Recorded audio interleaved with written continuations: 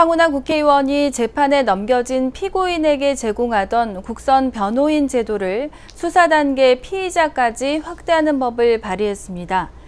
황 의원은 경제적으로 형편이 어려운 피의자뿐 아니라 미성년자와 시청각 장애인 피의자에게 국선 변호인 제도를 확대 시행하는 내용의 법률구조법 일부 개정 법률안과 형사소송법 일부 개정 법률안을 발의했습니다.